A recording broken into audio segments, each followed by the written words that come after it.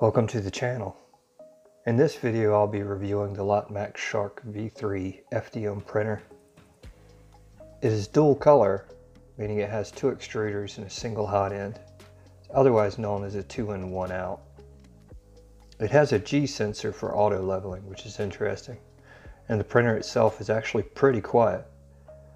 Its build volume is 235 by 235 by 256 and it comes with a standard 0.4 millimeter nozzle. So it's a little on the larger side, but about normal. It's a Bowden style printer, so there's no direct drive with a max temperature of 260 C and a max bed of 110 C. Lotmaxx recently released profiles for the V3 for Cura 5.2 as well. So let's get on with the prints.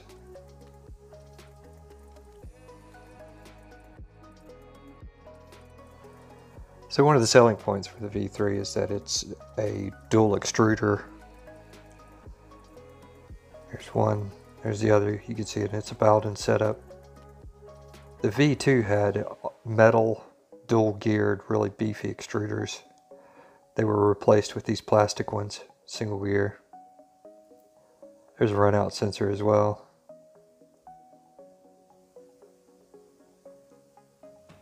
There's your other run out sensor and your plastic extruder.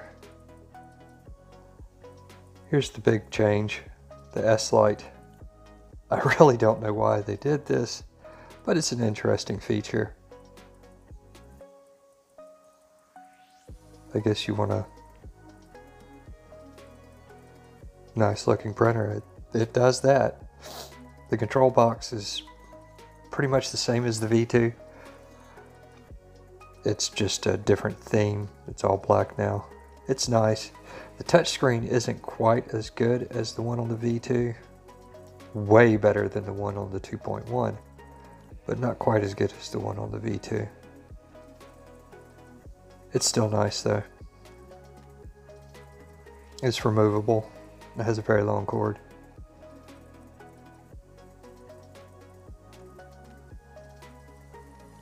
Here's the board for the V3. It's a standard STM 32F407, but it is a proprietary design. It has TMC 2208 drivers on it. One of the bad things about it being proprietary is it's all closed. They won't share their pinouts. They won't tell you anything about the board. I mean, you can see what it is based off of the chip, but you can't get Marlin compiled for it you can't get Klipper compiled for it. I'm not sure why companies still do this proprietary stuff in the printer space. They'd be better off to open it up and let the user community design updates for their firmware. For the V3, they also changed the end stop for the y-axis. If you see the hole that's below it, previous versions it was stationary and you couldn't move it. So this is a nice update. One of the things I think lets down the V3 is this glass bed. It's just a glass bed. There's no coating on it or anything like you get with Creality or other vendors. It would have been nice if they would have added a PEI magnetic removable sheet or something like that, or even the Buildtek like sheet they had on the V2. Another good change with the V3 is this breakout board. It really helps with cable management. It also makes the gantry completely removable without wires. They added some covers to the V-slot wheels. They don't really do anything, they're just aesthetic. But what about that S-Lite? Who doesn't like that? So the V3 has ABL, but it still has a Z end stop. I'm not sure why that is, but they still use it, so don't try and remove it. This is a dual color print. It's the dragon that's on the SD card. It's pre-sliced. Let's see how it turns out.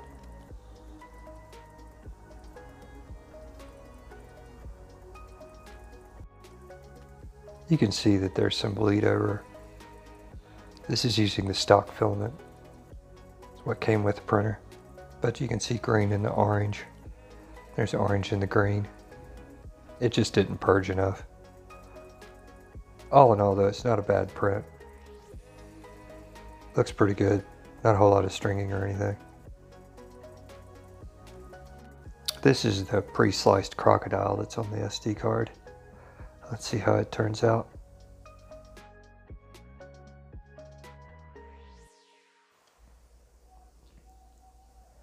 Not a bad print. Doesn't really showcase a lot. Not sure why they did their skirts this way, but still not a bad print.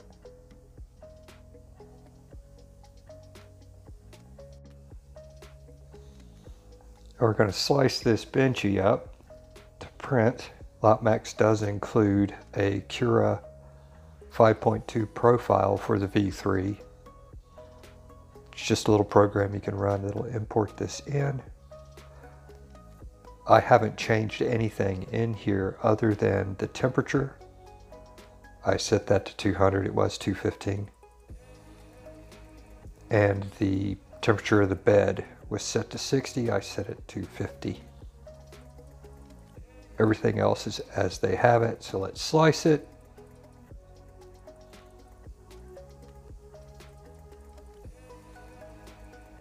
Let's save the file.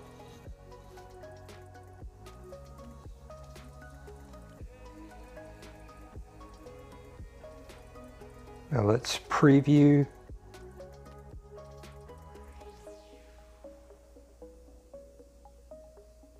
Um, I guess we have supports turned on.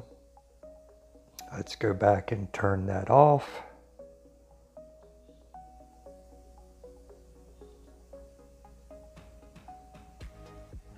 Not sure why they have supports on by default.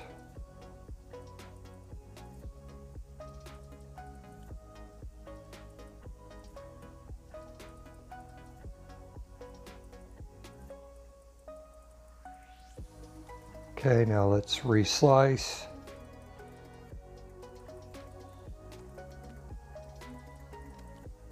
Let's save that file. It looks much better.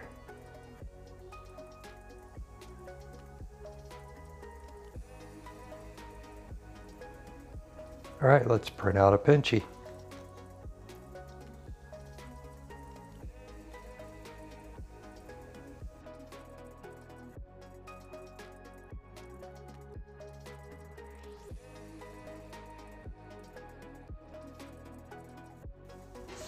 So the Benchy turned out pretty good.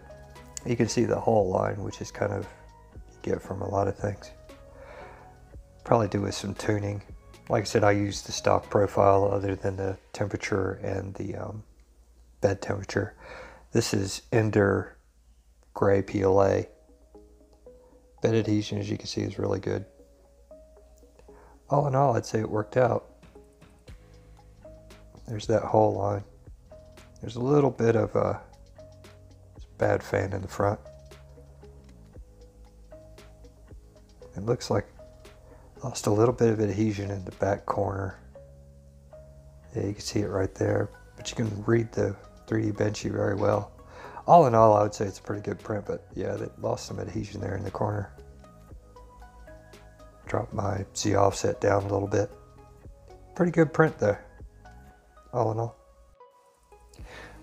Finally, I wanted to print something that was really small, and I really like these K2 filament clips these little triangles with three slits in them. I tried printing these several times and it just would not stick to this bed. So I ended up having to put a brim around them, which it seems to have worked out okay. So let's see how these look. Printing small things is a good test, so I wanted to put it through this. Had to use a brim, but it did work. Look great. Final thoughts on the V3? I like it. It has good print quality right out of the box. You can see that in the Benchy. Only changes I made were the temperature. It's relatively quiet as far as 3D printers go, and it can print in two colors. The big downfall I see is the glass bed. I really wish they would have included a PEI magnetic removable sheet Those new to the hobby will have issues with this glass bed because like I said, there's no adhesion promotion to it at all. It's just plain glass. I guess while I'm at it, the other issue is that it's proprietary software. The fact that you can't run Klipper or Marlin on this is really off-putting. Well, that's my review. Let me know what you think of the V3 in the comments. Like always, happy printing.